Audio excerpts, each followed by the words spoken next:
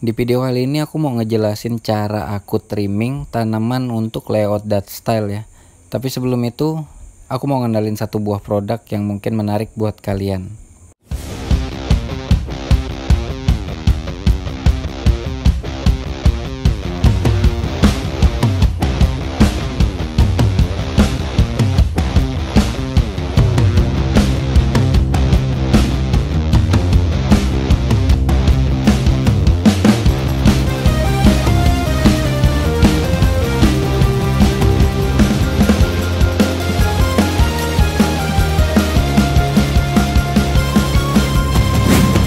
Kalau kalian pengen beli, linknya ada di deskripsi. Kita intro dulu.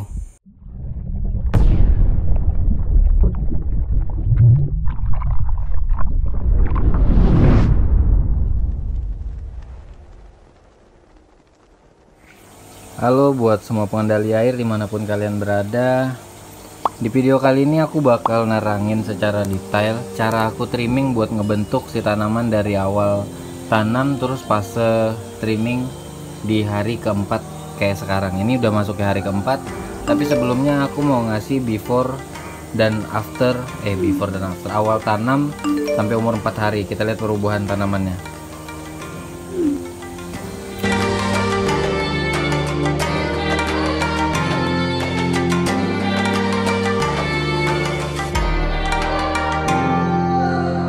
Kelihatan dari beberapa jenis tanaman ada yang sudah uh, tumbuh ya udah tumbuh tinggi banget kalau menurut aku dari awal tanam karena baru empat hari. Kayak Pogistemon strelata itu udah ya udah lumayan lah ya. Sama si Ludwigia arquarta nah kelihatan dari pertumbuhannya itu nggak bisa dibilang bagus banget untuk daun mutasi awalnya. Karena kelihatan kan renggang-renggang per ruas daunnya itu kelihatan banget. Cuman tinggal kalian akalin pas trimmingnya. Nah di sini aku bakal bikin si Ludwigia arquartanya ini aku potong e, meninggi menurun ke bagian depan sampai di depan sini ya. Ini bakal aku potong dan aku tancap lagi di bagian depan. Terus untuk tiger lotusnya itu bakal aku potong juga daun-daun tua yang awal ditanamnya. Aku tinggalin daun yang baru tumbuhnya aja. Untuk yang lain mungkin belum bisa di trimming dulu. Uh, kayak Limnophila sessiliflora pun juga baru fase mutasi sama kayak yang lain. Jadi aku cuman mau ngebentuk si ini sampai ke depan. Cuman kurang lebihnya sama dengan si rotala si treatmentnya.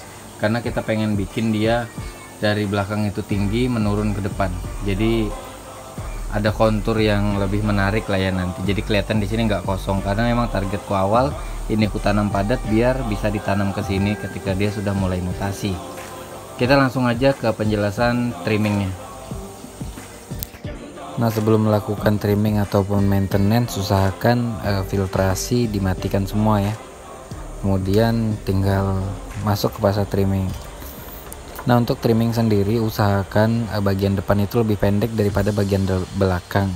Terus dibikin agak me gimana ya agak me, menyamping lah motongnya itu posisinya biar kelihatannya nanti bakalan lebih bagus nah seperti yang aku bilang tadi tiger lotus itu kupotong daun-daun yang awal dari sebelumnya ya. Yang aku sisakan itu cuman daun yang baru tumbuh aja biar nggak ada masalah di kemudian hari.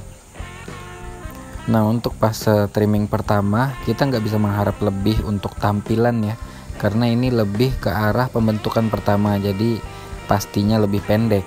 Nah untuk yang tanaman lain bisa kalian sesuaikan masa trimmingnya dengan um, tumbuhnya nanti. Jadi usahakan ketika di trimming hasil trimmingannya tadi masih bisa kalian pakai dan tingginya itu bisa lebih bisa menyimbangi batang tuanya ya. Jadi nanti ketika tumbuh dia bisa seirama lah bahasanya. Jadi bahasa eh bahasa. Jadi uh, fase trimming berikutnya bisa kalian sesuaikan lagi ketika tingginya udah uh, mencapai uh, target yang kalian inginkan kalau untuk tanaman akuatik sendiri jangan pernah takut trimming lah ya. Karena trimming itu poin penting dari pertumbuhan si tanaman tersebut. Jadi gas saja lah. Nah kita trimming udah selesai uh, targetnya yang si Ludwigia arquata itu bakalan kurang lebih tingginya segini nanti. Jadi memendek ke bagian depan biar kelihatan konturnya lebih menarik. Nah untuk yang lain itu belum bisa aku trimming karena ketika dipotong usahakan potongannya itu bisa ditancap lagi buat memadatkan bagian-bagian sisi yang masih kosong sama buat jenis-jenis yang lain. Dan untuk membentuknya nanti usahakan uh, potongannya tadi sudah sesuai dengan layout yang bakal kalian tuju. Next bakal aku jelasin lagi. Sekarang aku mau ganti inter internal filter yang ini dengan skimmer dari RZ Skim. Kayak video pembuka tadi ya. Jadi ini bakalan jadi arus tambahan buat muter arus. Dan yang skimmer yang di situ bakalan aku lepas. Jadi di situ fokus buat filtrasi aja. Kenapa aku ganti pakai skims ini? Selain bentuknya yang kecil juga nggak bakal ganggu estetika ya. Kelihatan lebih menarik aja sini jadi kita bakalan pakai. Aku pasang dulu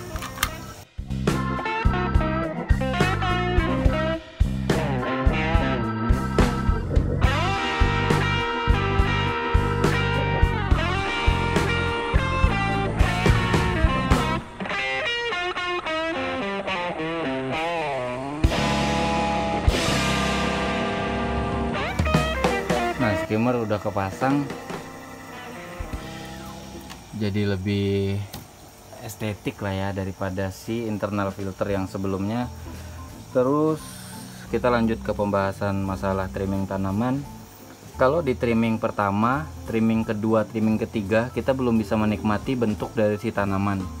Cuman secara perlahan ketika dari trimming pertama pun seharusnya kalian sudah mulai bisa ngebentuk si tanamannya tersebut biar looks dari layout e, sesudah tanamannya rimbun itu bakalan lebih ciamik lah ya buat dipandang. Nah kalau untuk masalah e, di nggak ada sih ya. Aman-aman aja nggak terlalu banyak problem. Cuman ya dari awal beberapa tanaman yang posisinya dia full air dipindahin ke parameter air yang baru dia bakalan error. Jadi saran aku uh, yang air, daunnya itu full air usahakan trimming aja sih kayak jenis uh, roset si crypto sama dengan si tiger lotus. Jadi sisain aja daun-daun barunya. Karena posisinya nanti sekitar satu bulan dia pasti udah mulai rimbun sih.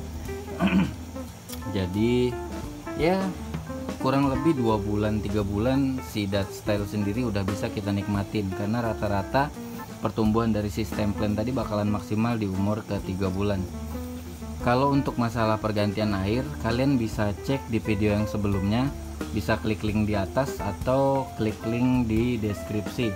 Itu ada aku jelasin secara rinci stepnya aku pergantian air durasi jam yang aku pakai. Terus mungkin di video berikutnya aku bakal ngasih uh, penjelasan um, cheat apa aja yang aku pakai ketika aku membangun aquascape aquascape yang baru mungkin videonya untuk uh, kali ini cukup sekian. Akhir kata jangan pernah lelah buat maintenance rawat airmu biar airmu yang merawat tanamanmu. See you on the next video